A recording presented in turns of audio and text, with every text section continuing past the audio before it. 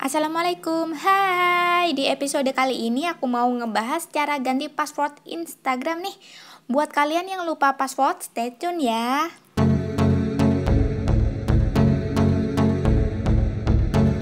Oke, kita langsung mulai aja. Yang pertama, seperti biasa, kalian buka dulu aplikasi Instagramnya.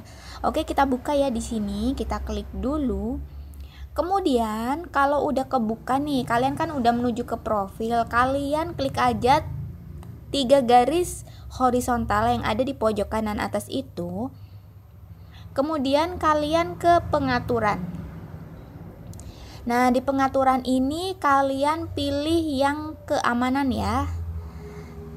Kemudian di sini bakal ada pilihan kata sandi kalian klik aja di situ. Di sini buat kalian ngubah kata sandi, baik itu kata sandi yang baru ataupun jika kalian lupa kata sandi kalian itu apa. Di dalam pengisian kata sandi ini kalian itu wajibkan untuk ngisi 6 karakter di antaranya tuh berisi dari huruf, angka, dan karakter khusus kalau kalian mau ganti sandi, kalian bisa aja tulis kata sandi yang lama. Tulis kalian di sini ya, kata sandi yang lamanya. Kemudian untuk kata sandi yang baru kalian bisa nulis di sini dan di sini untuk konfirmasinya. Di sini ada keterangan ya kapan terakhir kali kalian mengganti kata sandi atau password ini. Di sini di akunku ini diperbarui pada tanggal 14 Januari 2022. Jadi aku baru aja udah ngeganti password dari Instagram ini. Buat kalian yang lupa kata sandinya apa, kalian di sini nggak usah ngisi kata sandi lama dan kata sandi baru. Kalian langsung aja klik tulisan biru itu. Kalian langsung aja klik tulisan biru itu lupa kata sandi Anda, kalian klik aja. Nanti di situ kalian akan diteruskan ke email. Kemudian bakal ada notifikasi seperti ini. Email pergantian password akan dikirim ke email yang udah terdaftar di Instagram kalian yang berupa tautan untuk mengatur ulang kata sandi yang baru. Kemudian kalian klik aja OK.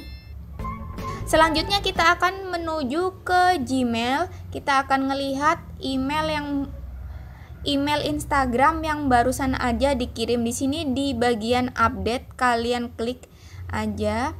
Kemudian ini ada email dari Instagram yang isinya adalah reset your password. Di sini kalian bisa ngeganti password Instagram kalian apabila kalian lupa. Tautannya seperti ini. Kalian bisa langsung klik reset password ini. Di sini kalian bisa pilih, kalian bisa pilih Instagram ataupun Chrome. Kita klik aja di Instagram, bukannya ya di sini. Kemudian di sini kalian bakal dikasih dua text box yaitu kata sandi yang baru dan kata sandi baru yang lagi untuk konfirmasi aja. Setelah itu kalian bisa klik atur ulang kata sandi ini ya jika kata sandi terbaru tersebut udah kalian input. Oke, sekarang aku kembali lagi ke Instagram karena aku nggak karena aku baru aja ngeganti passwordnya jadi aku nggak ngeganti dulu untuk saat ini Oke sekian dulu tutorial kali ini tentang gimana caranya ngeganti password Baik itu yang kamu lupa ataupun kamu kepingin ngereset kata sandi baru lagi. Oke sampai jumpa ketemu Sampai jumpa di episode berikutnya. Bye bye salam sehat. Assalamualaikum